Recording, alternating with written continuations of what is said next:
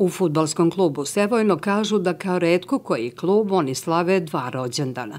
Jedan od 1950. godine kada su stvarno osnovani i drugi od 2010. godine kada su se fuzionisali sa Užičkom slobodom. Svih ovih godina klub nije menjao naziv, ali jeste ambleme.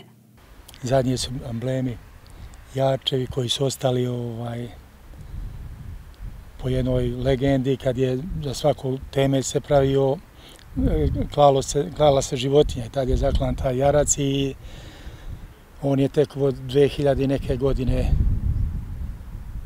prešao upotrebu, a pre toga su bili i u staroj Jugoslaviji veliko S i dole Jugoslavija i tako redom. Za 72 godine postojanja futbalski klub Sevojno odigrao je sa 195 ekipa iz Srbije, a bogata istorija kluba satkana je u monografiji od kluba radnika do Evropskog Sevojna autora Dragana Stampolića koja je izašla u štampu pre dve godine.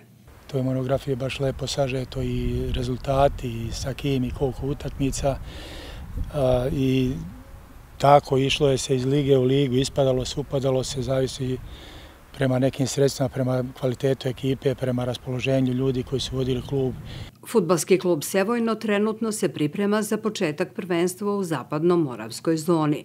Novo rukovodstvo kluba ima jasnu viziju da okupe što veći krug prijatelja kako bi pomogli da se Sevojno vrati u punom sjaju na futbalsku scenu Srpske lige Zapad, ali kako kažu korak po korak radimo, radimo, nećemo da se nešto hvalimo, radimo, ovaj, pripremamo se maksimalno što možemo u nekim našim mogućnostima, gledamo tu da da momcima, to je neko svoje iskustvo da prenesem na te mlade momke, da nije važno sad u ovom trenutku gde igraju, nego je važno kakve ciljeve svoje imaju i tako da s te strane pokušavam da maksimalno prenosim na svakog svoje iskustvo. Rođendanska želja svih u Sevojnu je dao masove klub, posebno u radu sa mlađim selekcijama, da seniorski tim pokuša da ostvari plasman u viši rang, jer ako se to ostvari, vratit će se ona stara vremena kada su građani Sevojna, posebno omladina, masovno dolazili na stadion da navijaju.